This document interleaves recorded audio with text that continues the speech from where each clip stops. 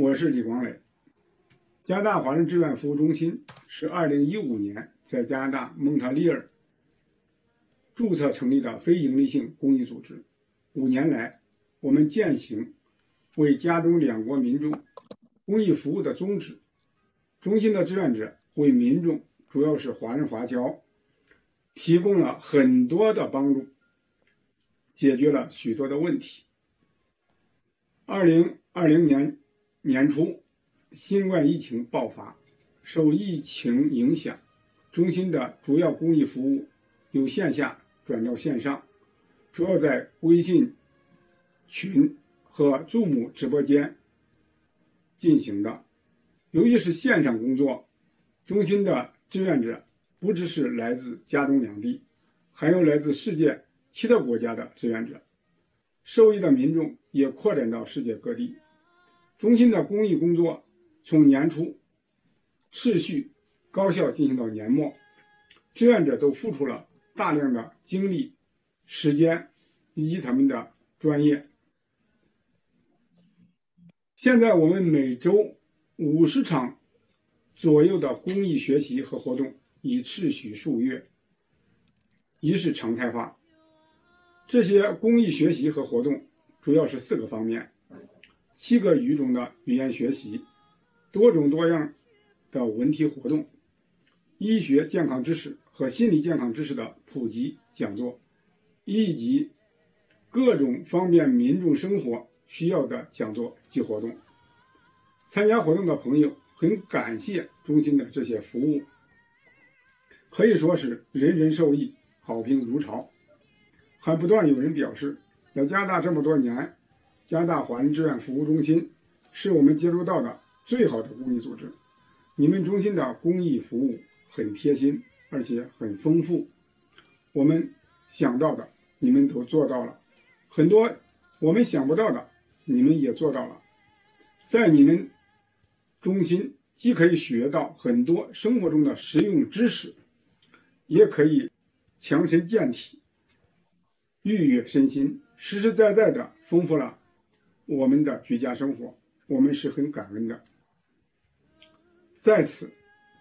我欢迎更多的朋友参与和受益于我们中心的各项公益学习和活动，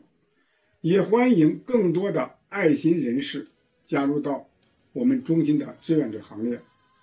同时，我要感谢加拿大华人志愿服务中心所有志愿者五年来的爱心奉献。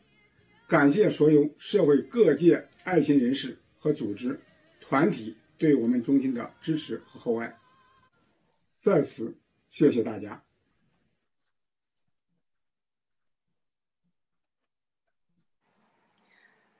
加拿大华人志愿服务中心的新老朋友们，晚上好！欢迎来到礼拜一晚上七点钟的 TST 财富大讲堂。我是今天晚上的主持人，也是今天晚上的主讲人之一唐佳。那么刚才那个短片呢，是我们中心的创办人，也是中心的营运主席李广磊先生在去年圣诞节的一次晚会上面的一个呃简短的介绍，介绍了这个中心的主要的一些活动。我相信我们的老朋友就不用我多做介绍了，你们肯定受益于我们这个中心的很多的公益活动。那么对于新朋友来说，可能听说。哇，每个礼拜有五十多场的活动，很多。但是现在的数字其实已经超过了这个，并且李总告诉我，他自己一个人呢，他一个礼拜的工作时间要超过一百十个小时，所以呃，非常的令人钦佩。那么今天晚上呢，我们给大家带来的这个 TSC 财富大讲堂，是我们今天的一个主题，呃，是新冠疫情下的这个呃我们的新策略。呃，我想在我们开始之前的话，呃，先请我的另外两位合伙人跟大家打一个招呼。邵伟，请跟大家打一个招呼。大家好。伟伟跟大家打个招呼。大家晚上好。好的，今天晚上的这个讲座呢，就由我们三个人一起为大家呃提供这样的这方面的信息。我先把 PPT。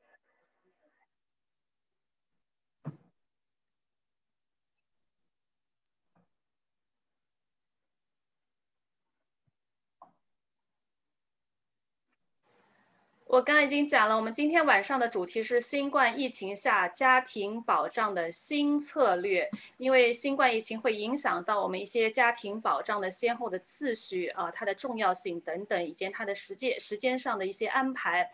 那么呃，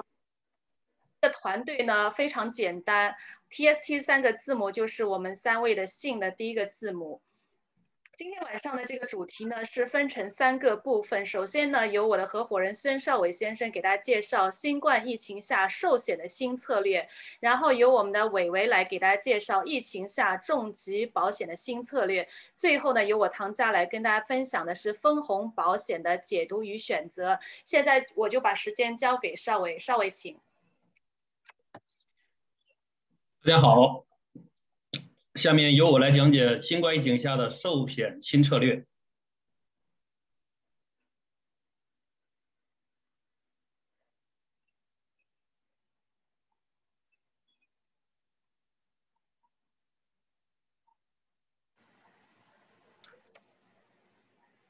呃，今天呢，注意到呢是夏至，我们呢疫情啊是从那个去年的春节开始。一晃已经是一年半了，呃，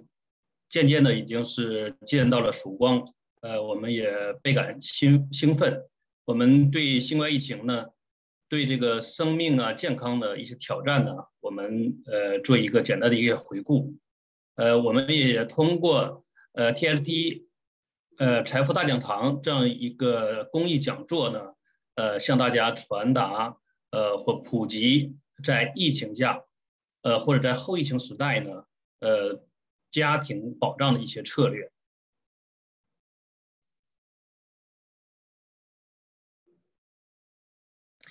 在加拿大呢，我们那个新冠疫情确诊呢，现在已经达到了一百四十万，其中呢，在我们魁北克省是有二十六万。呃，我们魁北克省呢，现在也还是说是。呃，在排在前列的，在各省的新冠的确诊人口比例呢，我们魁省新冠确诊比例是人口的百分之四点三，呃，之前呢是遥遥领先，后来是退居第二，目前呢是阿尔伯塔省呢，它是排在了第一位。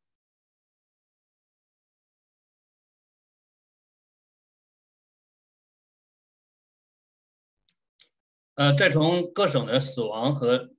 人口的对比来看呢，我们魁北克省的人口是这个安省的百分之五十八，呃，但是呢，新冠的死亡人数呢却比安省还多了两千例，呃，这个是和我们这个人口数的比例是不相称的。好在我们已经是迎接到了曙光。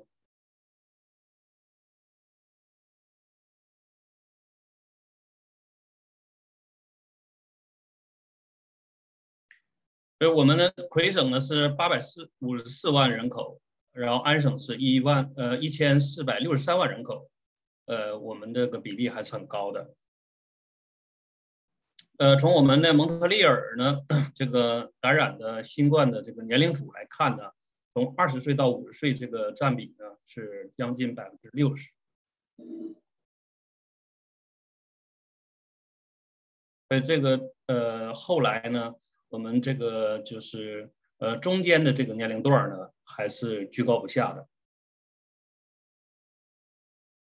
呃，总体来看呢，我们加拿大新冠确诊的总数是一百四十万，其中有百分之二十六是在魁省。各省的新冠确诊率呢，我们魁省呢是占居第二，是呃占百分之四点三。各省的新冠死亡人数呢，魁省是呃一万一千，比安省还多两千。蒙蒙特利尔新冠年龄组呢是二十到五十九岁，占比将近百分之六十。所以新冠疫情呢，对我们的生命和我们的健康都带来了严重的挑战。呃，由新冠和引起的这种重疾呀，还有死亡呢，呃，对我们威胁还是蛮大的。从呃疫情爆发之后呢。呃，我们蒙特利尔呢，也包括其他的呃省份呢，也都呃传到了这样的消息，包括我们蒙特利尔就有呃在团购遗嘱呃这样一个呃呃一个行为，嗯，比如说有些那个杂货店的呃店主们，他们就感觉到面临着这个呃健康的这威胁，呃，纷纷呢呃 去呃办理遗嘱，所以说呢，我们嗯还是要正视呃这样的一个威胁。做些必要的安排，防患于未然。在新冠疫情下呢，我们家庭的保障呢面临着呃失业停薪的呃挑战。呃，如果说一旦的呃出现了重症呃不治的情况呢，我们也涉及到这种遗产的规划。呃，我们做保障呢，是我们不希望是能够去得到它。但是呢，我们是是避免一旦出现了这种情况的话，我们没有所依靠。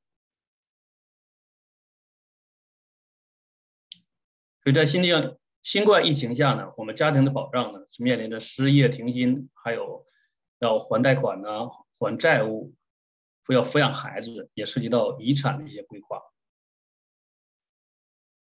我们用什么样的保险呢？什么样的策略可以来满足这样的要求呢？呃，我今天呢，简单说一下，就是我们的定期寿险，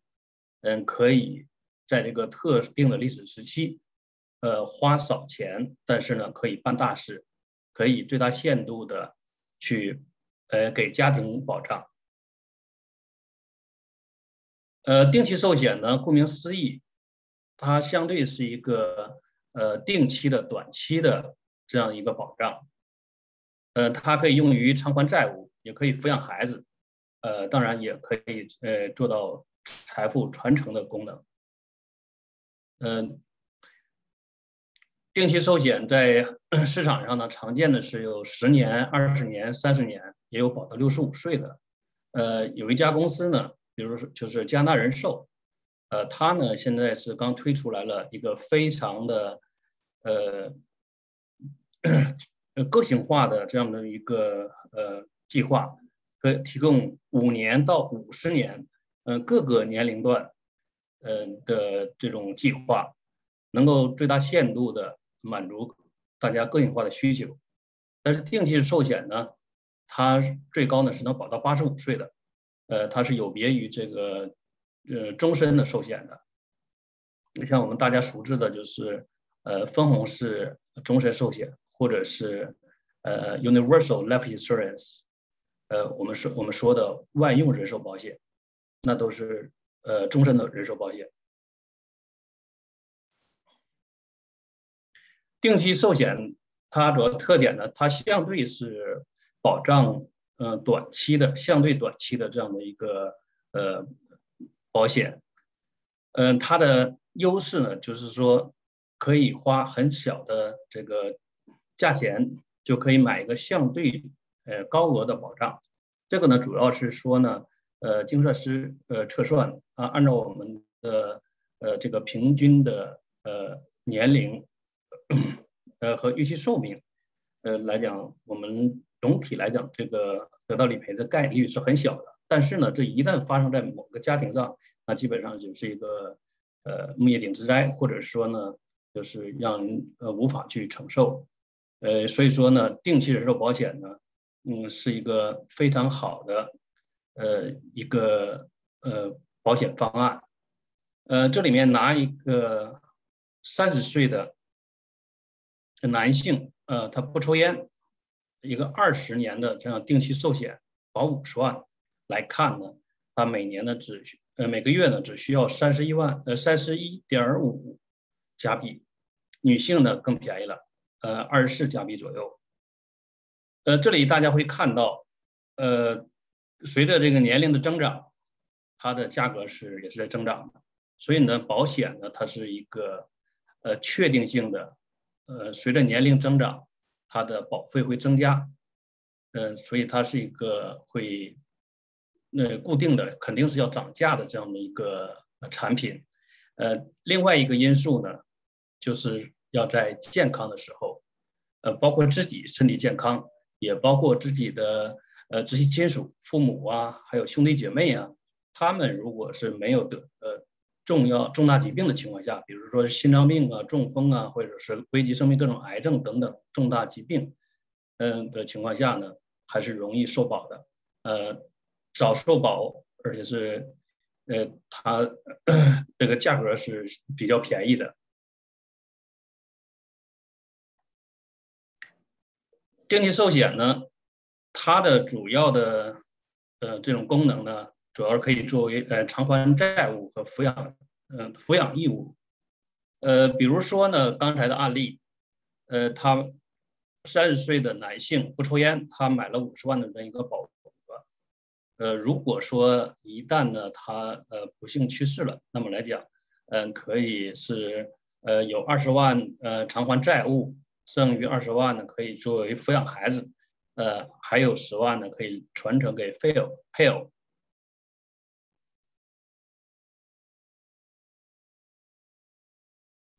呃，这里面呢，这张图呢，呃，是非常直观的体现了，就是说，定期寿险，呃，它的一些优势，呃，它呢是可以用少量的资金，呃。来购买那个相对足额的保障，主要的目的呢是想让呃客户呢先受保，呃在以后呢在经济状况呃有好转呃的情况下呢，可以进行呃更长期的定期寿险的转换，呃也可以是转换成终身的人寿保险，它可以最大限度的去呃锁定现在的呃健康的身体状况。我们这里拿一个 十年的呃定期人寿保险来举例，呃，它在那个七年之内呢，呃，可以是转换成呃更长的，比如二十年、三十年，呃或者更长的这样的人寿保险，呃定期人寿保险，呃，然后在十年有效期之内呢，它可以呃不用体检的，即使说身体发生了不好的变化。呃，得了重大疾病不再受保的情况下，它仍然可以转换成终身的人寿保险。这也就是说，为什么要呃适当的去配置一定的这个定期人寿保险？嗯，它花钱少，但是呢，能够呃买相对足额的保额。呃，所以说呃这个保险呢，应该是要尽早的进行去呃呃配置。呃，下下面呢，我我们再再再看一下，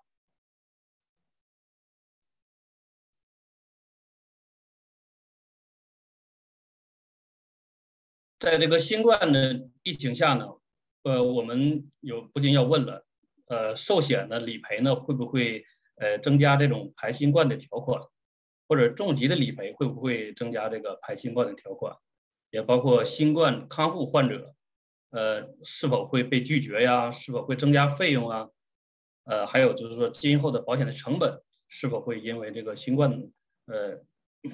得了这个新冠之后会增加？那么来讲呢，各家保险公司呢，呃，都是在调整当中。所以我们要怎样去做呢？所以说，我们的建议就是要尽快行动。呃，尤其是在我们呃疫情呃。这个形势逐渐好转的情况下呢，呃，包括呃餐饮呢，还有各个行各业慢慢复苏的情况下，我们要生活回到这个正常轨道上来，呃，我们呃尽快的要把这个呃保障的事情放在前面，是吧？这样的话呢，呃，我们可以是后顾无忧的。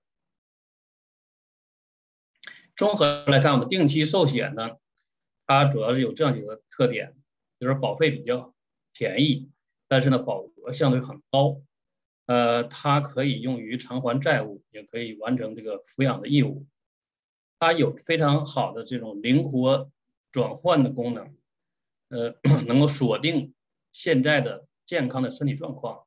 呃，即使将来身体发生了不好的变化，但是在有效期之内，也可以转换成呃终身的。呃，人寿保险，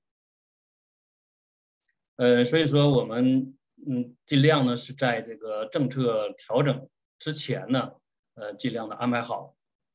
呃，如果有什么问题的话，可以和我们 TST 团队的呃伙伴呃进行预约。嗯，在疫情期间呢，大家呃也有呃不少呢是从那个 condo 换到了这个独立屋，呃，或者是呢有一些这个房产的购置，呃添了第二套房或者第三套房。实际上，这个呃房产的购置呢是直接是增加你的资产，呃，有些呢还通过贷款，那么来讲它的负债也在增加。呃，这个定期寿险呢是非常好的一种方式，可以，呃，来，呃，呃，保障这个负债增加的这块的呃一些风险。呃，大家要问说，定期寿险和贷款保险到底有什么一些区别？这里面呢，主要是讲呢，呃，这个贷款保险呢，它是。保这它的受益人呢是银行或者是一些贷款机构，像个人的保险呢，它是可以是由这个保单持有人他来指定的，呃，所以说它是呃有更灵活。从这个保额角度来讲呢，贷款保险它呃最高的额度呢就是说是贷款的额度，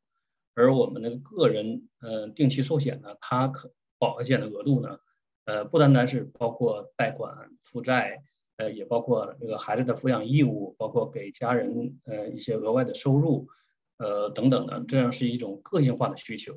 也就是说，它的这个保额呢，可以远远的超过呃这个贷款的额度，那能够满足个性化的需求。再一个呢，就是说这个我们定期寿险呢，它在这个有效期之内，它的呃这个。赔偿额呢是保持不变的，但是呢，贷款保险呢，它的赔偿额是随着贷款的余额下降而下降的，到最后呢，它会回到零的。嗯，还有一个重要一点就是说，我们定期寿险的审批呢，是基于您现在的健康的身体状况，呃，然后进行审批。如果说一旦审批通过，在有效期之内，即使身体发生了变化，啊，那么你还可以灵活的转换。那转换成更长的这种定期寿险，也可以转成终身的人寿险。嗯，但是呢，呃，如果是贷款保险呢，它会简单的问一些问题。如果在理赔的时候，如果不符合条件的话，会遇到理赔的困难。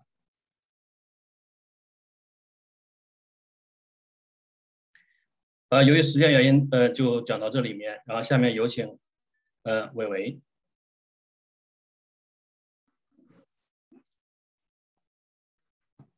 大家晚上好，这个欢迎大家来呃了解一下我们这个 TSD 团队每周的一些讲座内容。那么今天呢，我会跟大家分享这个呃新冠疫情的情况下还有什么保险我们是可以给自己添置的啊。刚刚邵伟已经跟大家介绍了这个定期的人寿保险，那我就给大家介绍一下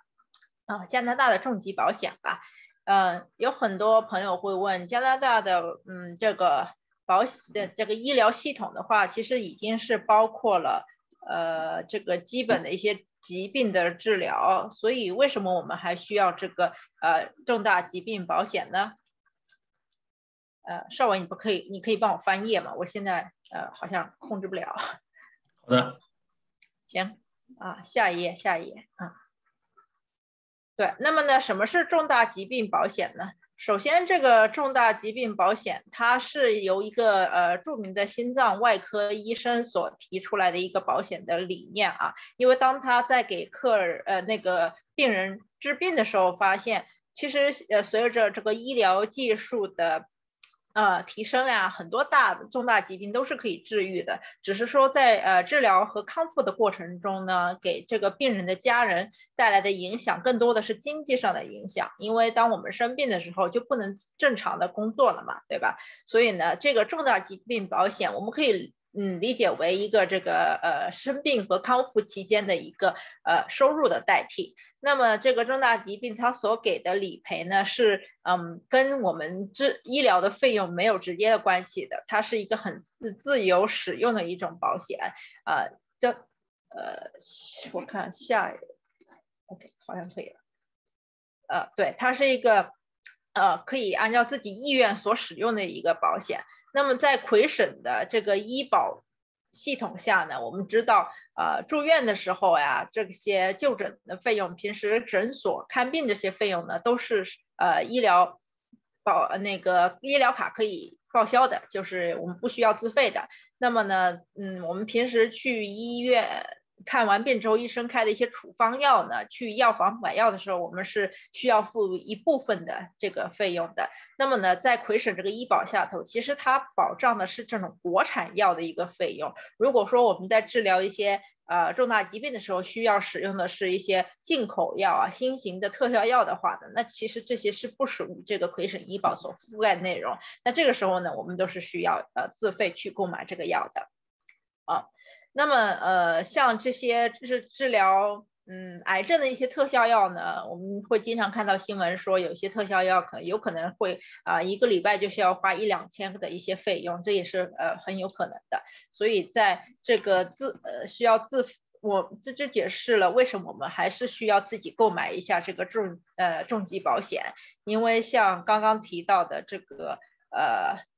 魁省它不保的一些内容的话呢，还有在我们康复的时候，如果说啊，因为呃不能工作，但是我们没有了收入，但是我们比如说平时有房贷啊、有房租啊，还有基本的生活费用这些，还是需要嗯自己掏腰包去呃出去处理的。那么这个呢，政府也不会给我们一个报销的，对吧？所以呢。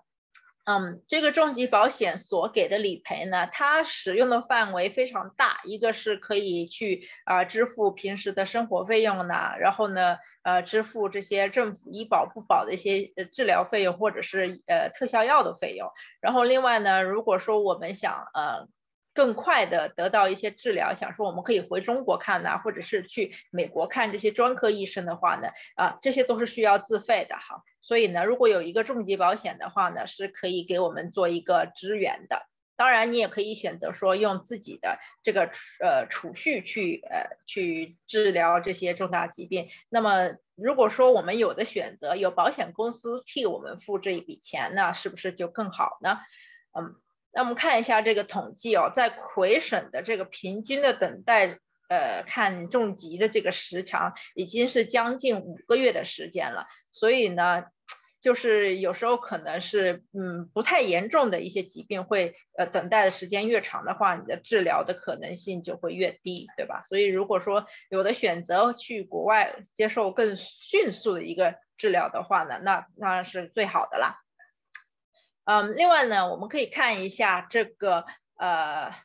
我们加拿大人寿这个重疾保险，它到底保的哪些内容啊？其实，呃，大概百分之六十七的一个理赔的呢，都是呃，像是心脏病啊这种呃不同的一些致命的癌症啊，还有这个呃中风这种这几种大病。然后呢，还有嗯，包括一些呃丧失独立生活能力，像这一项的话呢，嗯，它很有可能不是因为疾病而引起的，也有可能是有意外所引起的。所以像这些。嗯，常见的一些大病的话呢，都是在这个重疾保险里头，呃，会受到保障的。呃，我们来看一下这个二零一八年的一些理赔的例子哦。我们可以看到呢，像啊牙医呀，呃，还有一些嗯这些呃，就是大家呃就是呃职业人士的话呢，他们都会给自己做一份。呃，重疾保险，那么呢，他们做这个重疾保险的年龄呢，呃，有很多都是呃。在比较年轻的时候就做了这个重疾保险，我们可以可看到这个保单的这个年份很多都是十年以上的，所以这个也就说明了，当我们做这个重疾保险的时候，当然是趁着呃是年纪比较小，然后身体非常健康的情况下去做这个重疾保险，因为重疾保险的审批会比较严厉一点，所以说如果你的身体已经出现了一些小的毛病，虽然说在嗯，这个家庭医生的呃角度上看不是太呃大的毛病，但是在这个保险的风险呃计算里头呢，它是属于一个比较严重的问题的话呢，那有可能你会得到一个啊保险的加价，或者是直接被保险公司拒保的可能性都是有的。所以做这个呃重疾保险的一个保障的话呢，最好是呃趁着自己这个身体状况一切正常的时候去做这个重疾保险的申请。那么呢，像这个重疾保险呢，它呃，首先是嗯有一些呃，就是在保单里头已经有的福利，比如说这个初级的重疾的补助。那么呢，在这个呃列表上头的八种疾病哈，如果是在呃早期的时候被检查出来了，会得到一个初期的一个补助，也就是你选的。嗯，你给自己买的这个保单的保额的百分之十五，然后最多是呃可以理赔呃四次，然后是每一次是五万的这个一个呃初期补助的封顶。呃，意思就是说呢，这八种疾病中你可以理赔四次，就是不同的一些疾病在早期的时候发现，那么你得到了这个理赔的话呢，嗯。然后你这个疾病就治愈了，这个时候你并没有得到一个全额的理赔，也就是说你得了百分之十五的一个保额的理赔。那么以后呢，你接着可以得呃享受这个全额的理赔。如果呃又得了别的一些重疾的话，所以这是一个初期的重疾的补助，嗯。然后呢，这还有嗯第二个福利呢，这一项是你可以选择是否需要加进去这个保险里头的。它是什么意思呢？就是说啊，比如说。呃，一个人他做了一份保险，给自己保了一个二十万的重疾。那么在第一次理赔的时候，他发生了这个心脏病或者是中风的这种疾病的话呢，那么过了一年之后，如果呃不太幸运的他又嗯被。检查出来得了一些致命的一些癌症的话呢，他是可以得到第二次理赔的，嗯，也就是说第一次他已经得到了一个二十万的一个理赔，那么这个时候他的保费是不用再继续付了的。那如果不幸的是发生嗯第二次的话呢，他会得到一个百分之五十的他的保额的理赔，也就是十万。嗯，那么呢，呃，这个第二次事件呢，它就是也。在呃有两种情况下可以得到理赔的，就是第一次是理赔心脏病或中风，然后接着是这个致命的癌症，还有第二种情况呢，就是一开始是得了一个癌症，然后再过若干年后得了这个心脏病，这这种这两种情况下呢是可以得到呃两次的赔付的。那么呢，呃，还有，嗯，这个 best doctor 就是最佳的医生的这个服务呢，它是呃包含在这个保单里头的。就我们可以理解为这是一个看医生的绿色通道，因为像我们知道，呃，在加拿大看这个专科医生是需要一定的时间去。等待和预约的，那么呢，有了这个最佳的医生 Best Doctors 这个服务的话呢，你是可以从这个网络里头联络啊全球一些著名的专科医生，去给你做一些分析或者是诊断的。那像我们平时选工作啊、买啊房什么的，都会说多看几家，多听听别人的意见，对吧？那么呢，我们在呃。做这种对自己性命有关的一些医疗方面的治疗的时候呢，其实多听一下不同专家的这个呃诊断意见的话，会得到更多的这个治病的方案，看看哪一种会呃更快速或者更有效的给自己提供到帮助。所以呢，这个 Back Doctors 是是相当于一个看医生的绿色通道。那么它很好的就是除了你自己本身可以享受到这个服务的话呢，你的啊孩子、你的配偶还有你。的父母还有配偶的父母都是可以享受啊这一项服务的，所以呃像我们平时做一些嗯普通的车房保险的话呢，我们知道这个保险呃就是保费交了的话，但是你没有理赔过的话呢，它是就是相当于把这个保。费给花掉了，对吧？但是理赔的结果就更更 更不好，更理赔过的结果就是你的保费明年或者甚至后几年都会增长很多。那像这个呃重疾保险的话呢，首先我们嗯做的基本上都是诶保费是一个固定的，它不会增长的。你可以选择定期十年、二十年或者是终身是一个呃同样的保费。那么呢，这个重疾保险呢在呃，它会有三种结果。第一种结果呢，就是如果不幸得了一些重疾，二十六大类的重疾其中一项的话呢，你会得到一个呃全额的免税的一个支票。所以这个支票呢，你可以按照自己所需去安排如何使用。嗯，第二种结果呢，就是呃这个保险合约期内如果没有。嗯，得重病，但是因为别的原因过世了，比如说一些意外啊，或者是什么的，呃，突然过世的话，你是可以选择把这个呃所交的保险的本金返还到自己的家人或者是受益人的手里的，嗯，在没有理赔过的情况下，嗯，然后第三种情况呢，就是说，嗯，如果你选择这个保单，嗯，在生效后的呃十五年。或二十年，或者是等到你六十五岁的时候，你缺觉得不太需要这个保单的话呢，你是可以选择把这个保单取消，然后呢，啊，把自己这些年来所交的一些保费都可以呃返还到自己手上，因为这个交的保费是我们啊已经付过税了的钱所交的一个保费，所以呢，当我们拿回来的时候是不需要再上税的，这个大家就是不用担心税务上面的问题啊。所以呢，这个重疾保险呢，它并不相当于说我们把这个钱就呃相当于花掉了，而是说啊用这个钱。嗯，有可能的增长的这个利息的这个呃部分呢，去给自己做一份保单。我们当然是希望自己一直健康，不需要用到这份重疾保险，对吧？那么到了一定的年份，或者是到了年老的时候，我们可以选择把这个重疾保险啊给取消掉。那这样子的话，也可以拿回一笔钱，可以作为自己的一些呃退休基金啊，或者是说这个啊养老的一些呃去旅游啊，这样子都是一个很好的选择。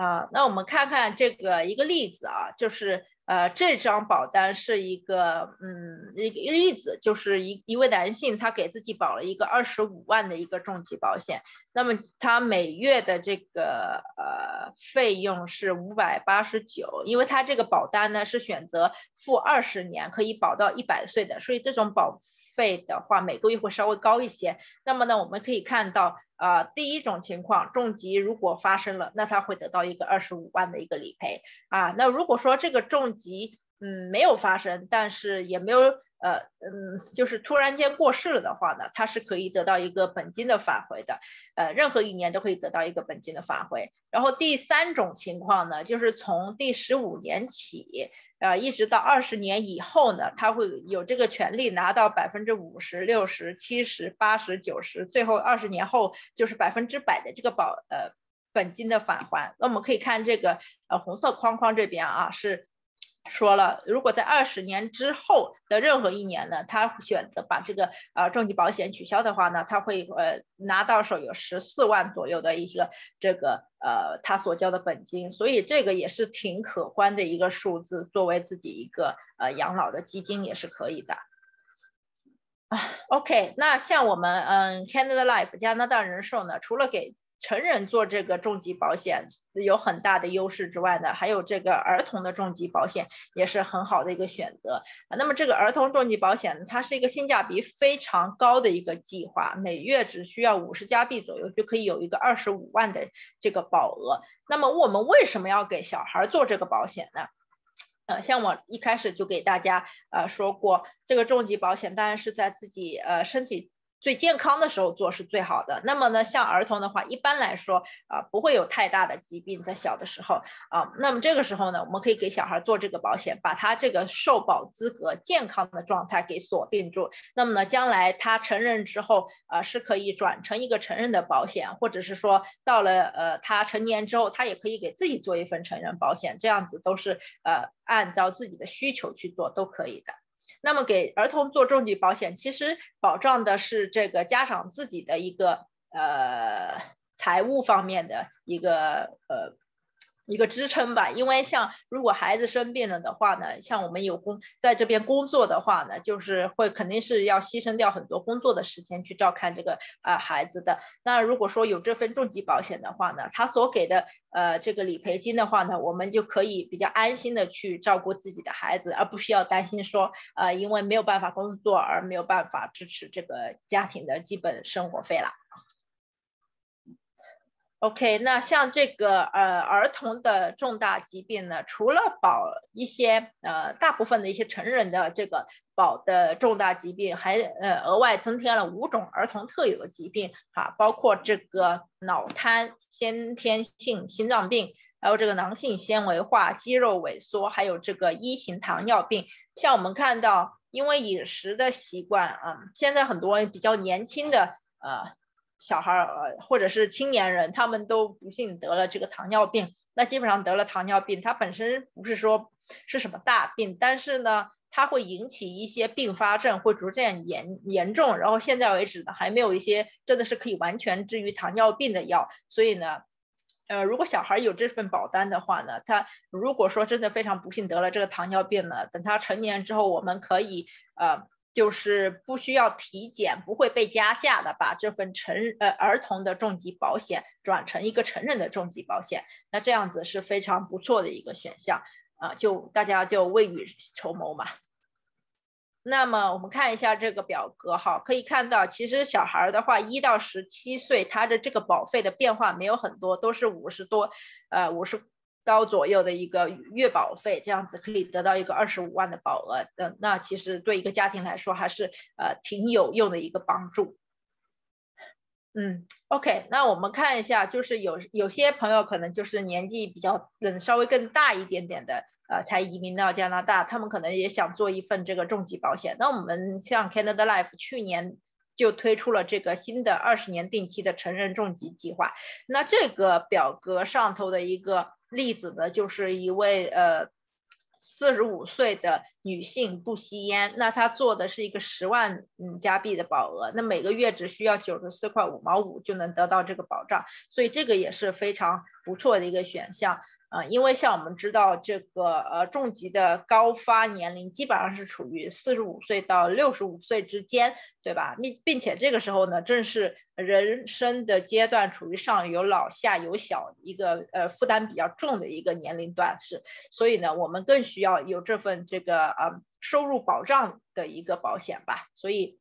呃，对于年纪啊四十多岁到五十岁之间的这些朋友们呢，其实可以选择这种定期的呃成呃成人呃重疾计划，也是性价比比较高的。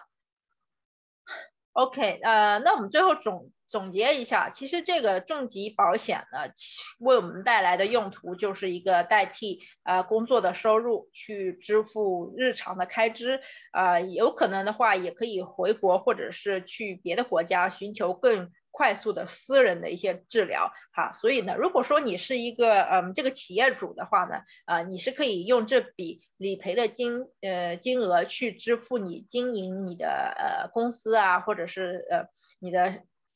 云翼的一些费用。那这个时候呢，你也不需要太担忧说，呃，当您生病的时候，你这个公司可能有些基本的一些营运费用支撑不下去。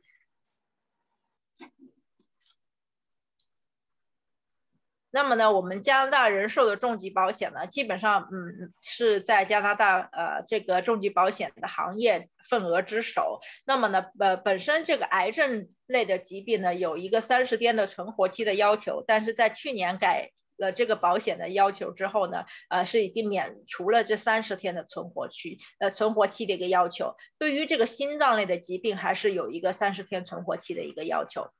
那么呢，这个最佳医生的服务呢，是呃从原本的配偶、子女，现在已经扩展到父母及呃这个配偶的父母都可以享受这个呃 best doctor 的服务。所以呢，你一个人受保的话，你全家都会得到这个呃服务。嗯，那么还有第二次事件呢，从原本的嗯最高理赔额度五万增加到了十万。那么这个呢，也是一个很大的呃一个。增长，那基本上这一项呢，是在整个加拿大这个重疾保险里头，是我们 Canada Life 独有的一项呃第二次事件这个福利是大家可以加进这个保险里头的，啊，那还有呢，就是我之前提过的这个初期的重疾的补助呢，从原本的呃四种增加到了八种，所以呢，这这八种初期检查出的疾病可以得到补助，那大家就可以有有有更多的选项去。嗯，有可能得到理赔。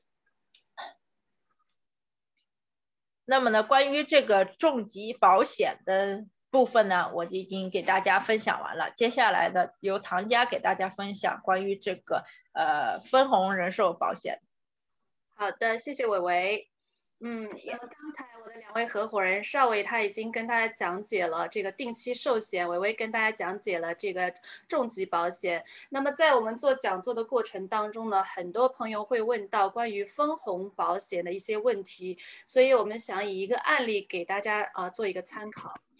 呃，先来看一下这个人寿保险的常见分类。刚才这个邵伟介绍的就是定期的人寿保险。呃，所谓的定期，他刚才已经解释过了，就是五年到五十年之间，我们呃由客人自己自由选择一个时间，比如说呃，我们的贷款是二十五年的话，我们就可以选择二十五年。比如说我们家最小的孩子到成年还有十八年的话，我就可以选择一个十八年。所以就是，呃，就像邵伟说的是个性化非常强的。那么所谓的定期的话，就是在您选择的这个时间段以内，它的保额是不变的。呃，它的保费也是不变的，除非您在这个七年之内把它转成更长的定期寿险，或是呃在有效期之内把它转成终身险，那么就是另当别论了。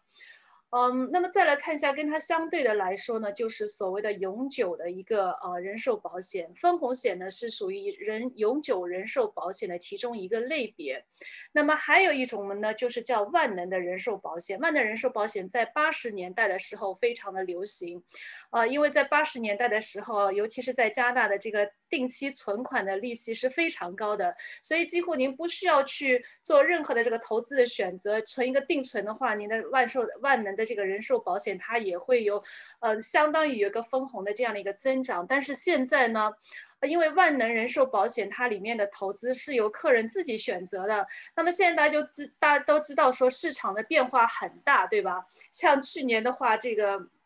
那美国股市乃至全球的股市，因为新冠疫情，就是上下震荡的非常的厉害。那如果是这样的话，就会直接影响到，呃，我们选择的万能人寿保险的它的一个理赔。所以呢，现在大多数的人都会选择分红型的人寿保险。这个分红型的人寿保险，它的投资不是由客人自己选择的，是由保险公司统一选择的。那么好处是什么呢？就是它保证一定有分红。这个是加拿大过去这个加拿大人。说过去历史上，就是从它开始有分红保险到现在，从来没有间断过这个分红，所以呃，现在越来越多的人就会选择分红的人寿保险。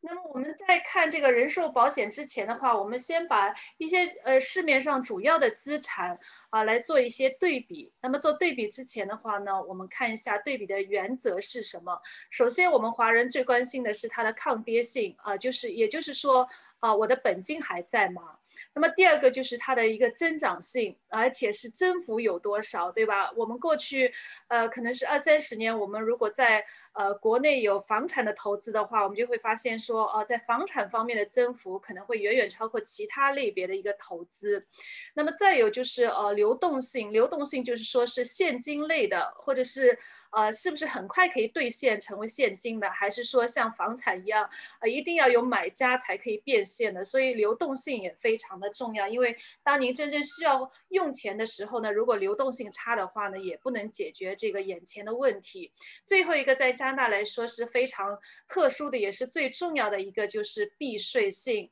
啊，它有没有可以减免税等等？我们来看一下市面上的主要的几种资产的类别的对比。嗯，大致来说，我们一般的家庭会做一些股票或者是基金，嗯，这个是属于同一个类别的。然后呢，另外一个是房产类别的，还有就是定存，对吧？我们华人也非常的喜欢，就是呃，定存好像比较呃，就是感觉是比较保险，因为它的抗跌性比较好。那么再有呢，就是寿险。那么大家如果对于寿险不熟悉的话呢？会非常惊讶的发现，刚才讲的几个指标啊，寿险是全部赚到的。就是从抗跌性来说呢，它的本金是肯定不会跌的。呃，从它的增长性来说呢。它是最小的增长是确定的，呃，我们等一下会看到一一些案例，就是说，呃，我们签一个保单的时候，他会给你几个数据。首先的几个数据就是会，你会看到说我最低的保额是多少，因为我们今天我们现在讲的是分红保险，已经不是在讲定期保险了，所以分红保险呢，它是可能会增长的。为什么说是可能的？就是因为有的人可能在呃这个呃还没有分红的时候已经过时了，那它就是一个最低的保额，所以我们可以确定的是最。最低的它的一个增长性是多少？在保单上我们可以看到，就是我们最低的保额，呃，我们的年保费。那么如果我们选择二十年的这个支付的话呢，这二十年之内就是呃不变的。如果选择终身的话呢，也是终身不变的。那么现在呢，也有十年的这个保费，呃，完全呃付完的这样的一种选择，呃，所以呢，就是我们可以呃在签保单的时候就知道了它最低的一个增长性。呃和最低的一个增幅。相对来说呢，它的增幅呃是跟房产是有的一拼的，要看你的年龄。为什么现在越来越多的人会给小孩去做寿险呢？是因为就是小孩的这个寿险呢，呃，它的杠杆的比例呢，就是可能跟房产是有的一拼的。呃，那么还有就是说它的流动性。呃，是所有的这个呃资产类别里面的，呃是其实是最好的，因为它就是以现金的方式来支付的。股票和基金的话，你还要抛售，对吧？如果市场不好的话，你还不舍得去抛售。但是寿险的理赔的话呢，它就是一张现金支票，非常的简单，就是流动性是最好的。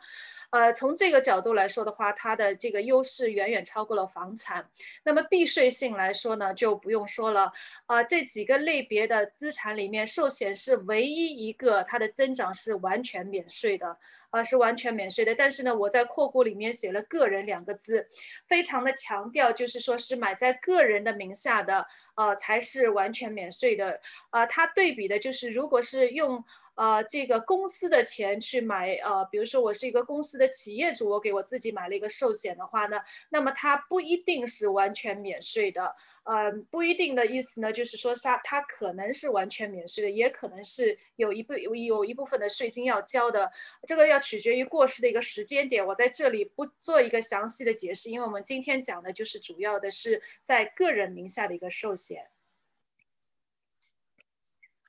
所以做一下总结，分红保险的它的投资优势呢，它的抗跌性是可以确保本金不受亏损，而它的增值性来说呢是超过定存的，流动性来说呢它是以现金来给付的，那么避税性刚刚已经讲过，死亡给付是全额免税的。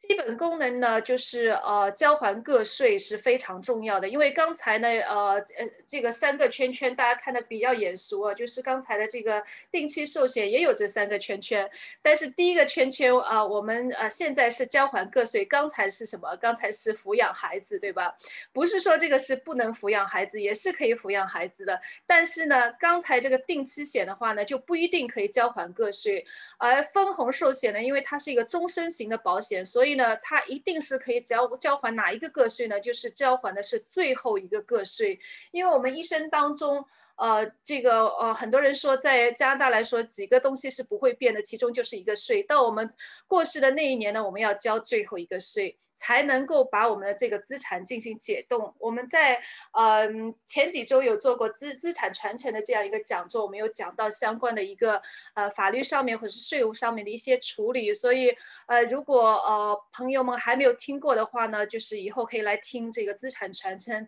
但是如果你已经听过的话呢，大概已经了解，就是说是我们最后的一个个税呢，可能是我们一生当中要交还的数额是最高的。所以分红寿险呢，它第一个。呃，功能还不是做资产传承，是先先把自己的所欠的债务给还了。第一个最大的债务就是欠啊这个呃政府的，对吧？就是是一个个税。再有呢，可能就是还呃还贷还债。那么其实一般来说，我们是希望用。啊，定期寿险来做这个还贷还债的这个功能的，因为现在的这个定期寿险它非常的灵活，我们可以知道我们的贷款的时间时长是多少，我们就可以非常个性化的去做这样的一个定期的寿险，因为它的成本远远要低于分红的寿险。那么再有剩余的话呢，就是做一个资产传承的动作。嗯，还有一些数据解读呢，是呃给大家做一下呃就是一般的普及的介绍，就是呃分红寿险呢，以加拿大人寿来说的话，我们的呃寿保的年限是保到一百零五岁。那么很多人说现在的人这个呃可能会活了超过一百零五岁，那么这笔钱会怎么处理呢？呃，超过一百零五岁的时候，其实就是到一百零五岁的时候呢，这张保单就到期，就合约就结束了。合约结束，钱没有不见啊。合约结束的时候，你的理赔额刚刚好与你的现金价值是相等的。我等一下会解释什么叫现金现金价值。你可以你可以想想成就是你的理赔额，呃，就是可以达到这个寿险的持有人自己手中的，而往往这个寿险的持有人就是还活着的那一位就是受保人。所以呢，到一百零五岁的时候，这张合约到期就可以拿钱走人，然后呢，那个可以很好的享受一个。呃这个呃老年的，而且是非常长寿的这样的一个晚年的生活。那这种情况相对来说是比较少见，但是也考虑到这样的一种可能性了。然后呢，这个呃保费的这个上限的话呢，刚才有讲过，所呃所谓的上限就是，呃，比如说他选择的是一个二十年买断的，但是呢，可能这个人呃这个几年呃，比如说第五年的时候他就过世了，那么保费要不要付完二十年呢？答案是不用的，所以所谓的上限就是最高是二十年。呃，然后如果他在二十年之内过世的话呢，就是付到他过世的那一年啊就理赔了，然后这张保单就结束了。那么保单的上限的话，也可以是付终身的。现在越来越少人是选择付终身的，因为现在越来越多的人是非常的长寿，活到八九十岁的都呃不算是稀奇的。所以如果要付到八九十呃呃八九十岁的话，很多人都不愿意，所以大多数人是选择二十年的或者是十年的。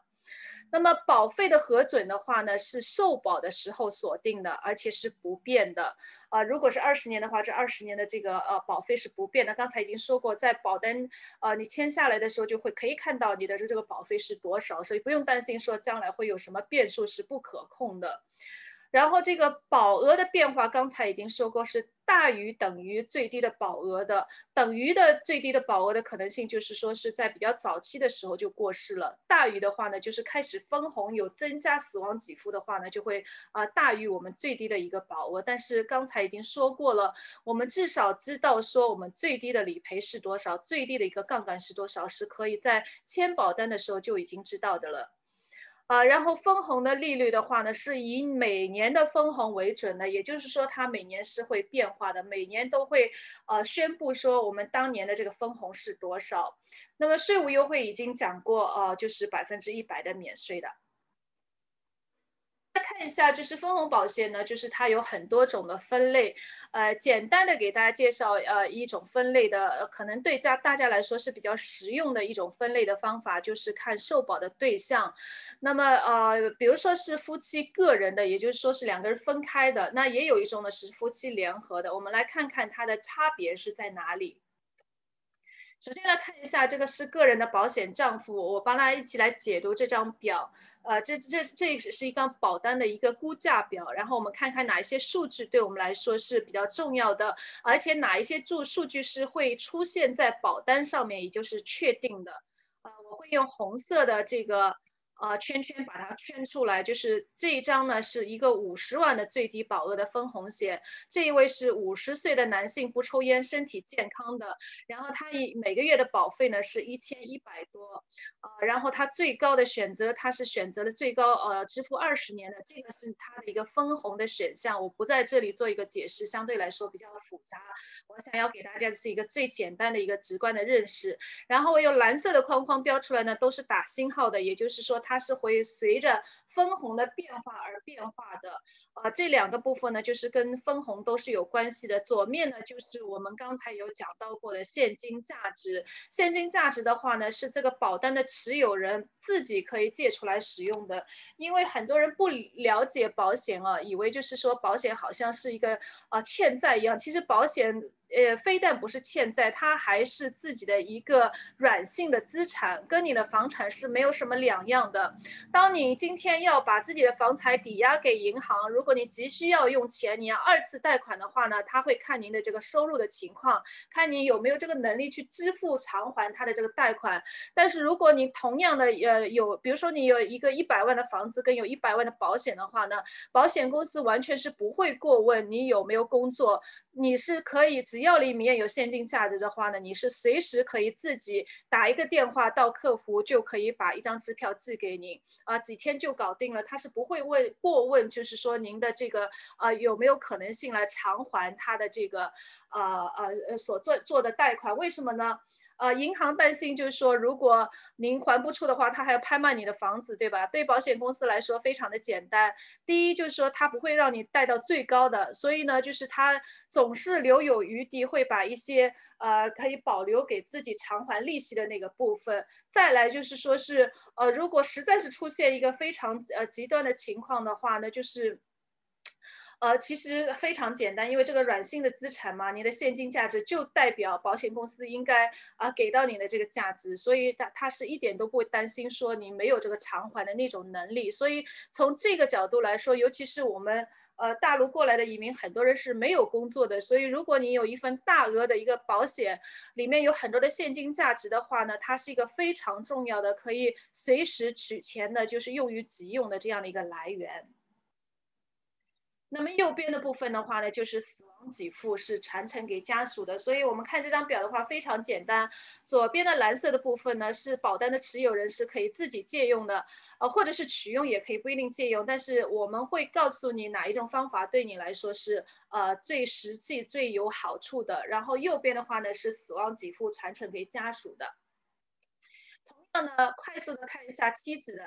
也是同样，呃，这个五十岁的呃女性不抽烟，呃，然后是身体健康的，也是一个五十万的最低保额，然后她的这个保费的话，每个月要比丈夫少一百。啊，就是女性相对来说比较长寿，生活方式也比较健康，所以呢，她定价的时候呢，同样的年纪，同样的身体状况，相对来说它的价格会比较好。然后呢，也是一模一样的，它的分红和它选择的年限。那么快速的看一下呢，也是一模一样的，就是左面是现金价值可以自己使用的，右边呢就是死亡给付可以传承给家属的。为什么要给大家看两个例子呢？就是我们来看一下。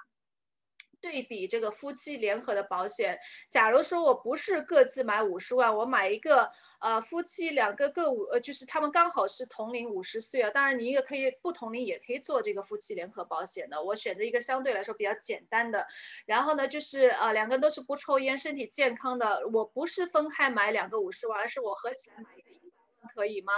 呃，答案是可以的。而且我们来看一下它的这个呃价格。刚才还记得吗？是一一五五跟一零五五，呃，我们简单的心算一下就知道说两个价格会相差很多。一会儿我会给大家看一个比例，所以我们可以看到说，如果两个人合起来买的话呢，呃，它的这个呃价格会远远低于两个人分开买的这样的一种可能性。但是有人就会问了，那么为什么还有人会分开买呢？啊，答案是在于呃他们的用途是不一样的。我们来看一下。呃，第一个呢是呃上面的这个红色是夫妻两个加起来的月保费是两千两百多，呃，它的保额加起来也是一百万。然后呢，这个夫妻联合寿险的的话呢，它的月保费是一千五百多，然后它的这个呃理赔的话呢也是一百万。它差别就是说，第一种什么人会去做的，就是夫妻双方各自可以互相做呃对方的受益人。第二个呢是显然是不可以了，对吧？因为两个人都是受保人，所以只有等两个人全部过世之后的第三方，也就是一般来说是自己的孩子，呃，就是可以传承。那么简单的来说，如果考虑到夫妻的退休的时候，比如说一个人比较早过世，或是两个年龄相差比较大的话呢，考虑到对方啊要留一个保障给他的话呢，就是要分开买。呃，然后呢，如果是呃要留给孩子，呃不考虑这个对方，因为有可能我们已经算得到说我们有生之年是可以足够的呃现金去支撑的话呢，我们就可以采纳啊后者，因为它的性价比要高出很多，相差多少呢？是相差百分之四十的这样的一个成本。我们来看一个分红保险的综合案例分析。嗯，就是刚才的五十岁不抽烟的健康的，但是我我选择了另外一种分红的方式，不是说这种分红方式是比较好，而是说我的电脑软件可以演绎给大家看，就是说用这种分红方式呢，我怎样去取钱？呃，来看一下，就是它的年保费，呃是两万八千多，然后呢，这个最低保障是一百万，跟刚才那个分红呃分红的方式不同的是，它从第一年开始，它的分红就可以增加。它的死亡给付，刚才那个性价比比较高的呢，它是要很多年以后，它的死亡给付才会因着分红而增加。那这个的话呢，它的死亡给付一开始就超过一百万了，呃，然后呢，这个呃，我们来看一下，就是他前二十年他是在存这张保单，呃，绿色的部分呢是呃从七十一岁开始，就是从这张保单的二十一年开始呢，他开始把里面的所有的分红呢都取走了，也就是他的死亡给付是停留在第二十年的这个数字的，是一百四十万啊，当时的这个分红已经增加了四十万的这样的一个理赔，所以我们再来放大看一下的话呢，这个就是他二十年的存啊，一共存了五将近五十八万，然后呢，这个是。呃，自己使用的话呢，如果是夫妻双方有一位可以活到呃九十岁的话呢，他几乎就是可以把自己存的所有的本金全部拿出来了。那么他的利息变成什么呢？就变成一百呃这个四十万的一个呃免税的支票到达他家属的手里。可以跟各位保证，您自己存钱的话是。啊，您存在银行的话，肯定不能达到这个数字，因为非常简单，哪怕您的这个利息跟我们的分红是一样高的话呢，您加税都加走了。啊，可能加走了一半，但是呢，我们这个是完全啊免税的，所以呢，一笔钱变成了两笔钱，一个五十八万变成自己本金拿回来，还有把所有的增长呢变成了一张免税的支票传承给家属，所以这一种呢是非常呃实用的一种这个呃分红保险的使用方式，给大家做一个参考，也给大家有一个直观的印象，就是看一下分红保险有一些有一些什么样的好处。好的，我们来看一下，就是刚才的这个分红保险的这个选择的策略，就是刚才有讲过，如果夫妻互留退休保障的话呢，就是说是。呃，我们的受益对象就是配偶。如果是资产资产这个免税传承给下一代的话呢，我们的这个受益对象就是儿女。然后，如果是利用保险的这个杠杆放大整个的家族资产的话呢，我们甚至于可以给到第三代。是什么意思呢？就是父母可能稍微年纪有点大了，比如说是。呃，六十岁以上了，那他们自己呃做保险的话呢，相对来说是比较贵了。但是呢，他们有一笔钱，他们就可以给自己的孩子去做保险，呃，给自己的儿子、媳妇或女儿、女婿去买这样的一个呃联合的保险。它传承的对象就是啊呃给到自己的第三代，所以呢，这一种也是非常实用的一种呃做保险的策略。我们来综合我们今天三位所分享的，就是呃定期人寿保险的话呢，其实是在最低限度的应应对这个债务和孩子抚养的义务，尤其是在呃新冠疫情带来的冲击，就是大家知道说我们的生命可能随时会因着各样的这个冲击而呃随时这个发生问题的时候呢，我们至少有一个定期寿险的话呢，我们就会呃比较安心，就是说我们的债务不用愁了，我们的孩子抚养义务。不用愁了，因为像刚才所说的一个三十岁的男性，每个月三十几块钱，每一个人都付得起，但是他带来的一个价值是五十万，五十万可以解决很多的问题，对吧？可能可以养大两个孩子都是没有问题的。然后呢，这个重大疾病保险呢的话呢，是主要保障的是我们在疾病以及康复的过程当中呢，其实一个生活的来源，它并不一定是为了看病所用的。为什么说不一定呢？有可能其中的一个部分是为了支付，比如说是康复。啊，理疗啊，或者是一些呃比较要自己自费的药物，这是有可能的。但是大多数的情况呢，是为了呃这个保障自己的一个生活来源的。那么再有就是盈余的话呢，就要考虑这个分红的人寿保险，它是以增值免税的优势超前部署了我们的资产传承，甚至于传承给下一代或者是再下一代都是有可能的。很多这个呃父母给呃刚刚出生的孩子做这个保险的。话就是为了传承给再下一代，甚至于有啊爷爷奶奶给孙子买保险的话呢，也是可以传承给第四代。这因为是他总要长大，他总要就是呃嫁人或者是结婚，所以呢，他可能就是有自己的孩子的话呢，到那个时候他年龄大的时候就不用担心说，哎呀我的保费已经太贵了，因为爷爷奶奶已经给我做，或者爸爸妈妈已经给我做好了。所以给大家这个呃简单的介绍一下，呃，我们三位作为理财顾问来说，我们的专业建议在财务上面怎么样体现出来我们的价值呢？这个是 RBC 的一个呃这个第三方的这样的一个统计啊，那就是左边这个浅蓝色是没有呃这个财呃理财顾问的，右边这个深蓝色呢是有理财顾问的。我们看到就是短期内的话呢，其实差别不大，大概是一比一点五倍，但是如果是十五年以上的长期有这个理财顾问跟踪的话呢，大概资产会相差四倍之多。那今天我们都是以加拿大人寿的这个业务作为一个呃介绍的，但是事实上我们可以做的是市面上所有的这个保险。呃，这个方面的一个产品，所以呃，大家不用担心说呃，这个我们呃要去其他的地方去做比较，我们是可以呃一条龙的全部给大家介绍到位的。所以我们除了保险之外呢，我们也有做基金和贷款方面的服务。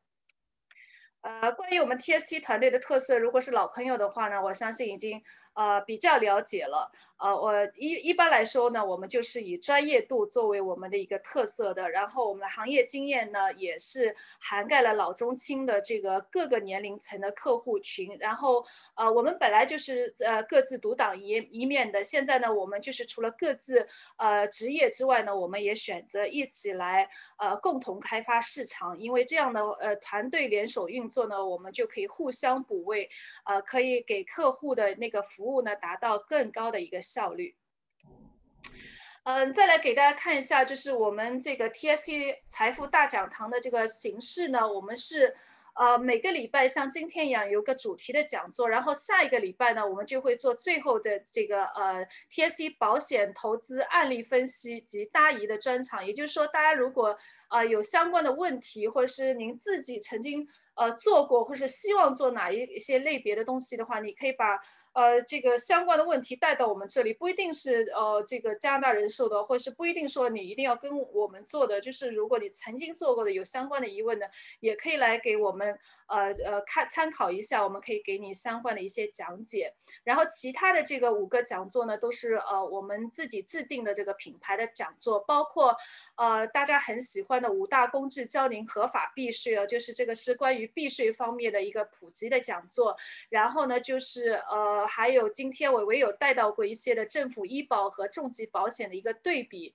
那么做退休基金的时候呢，我们会讲到 RSP 的十大存取技巧，还有刚才我讲过的这个资产传承，里面有很多税务跟法律方面的知识。再有就是今天这一类的讲座。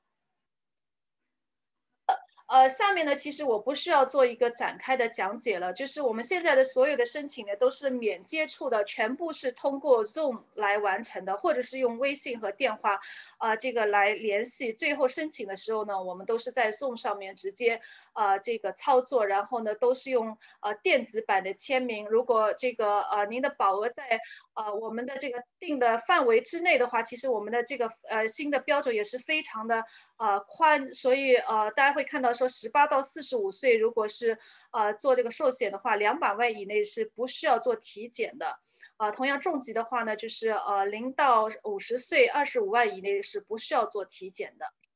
好的，那今天我的讲解呢就到这里，给大家一分钟的时间，可以扫一下我们的群二维码。可能呃，因为刚才李总您告诉我们时间早就到了，所以今天我们就没有时间给大家做一个答疑的这样一个环节了。但是呢，记得嘛，我们下个礼拜的同样的时间是有答疑的这样的专场的，所以大家如果有什么问题的话呢，可以在下个礼拜呃来跟我们进行一个交交流，好吗？谢谢大家。好，谢谢我我我谢谢三位老师，谢谢唐家那个，嗯，哦，现在啊，那那你们这结束了是吧？